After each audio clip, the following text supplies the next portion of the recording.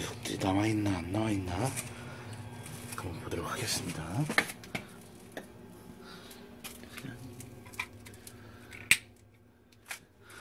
어? 오늘은 이번엔 안 나와있네요. 음, 물을 이렇게 작성을 했어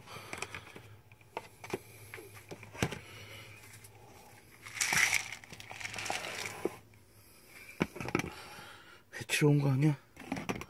있어. 아이고.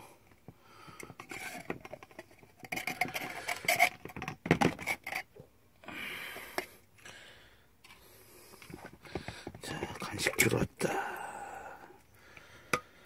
고등어. 고등어.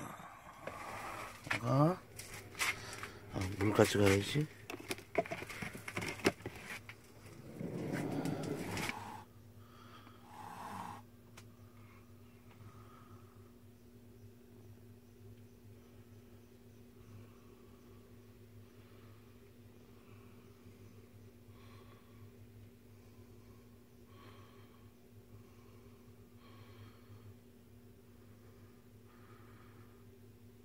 왜 한 마리가 없지?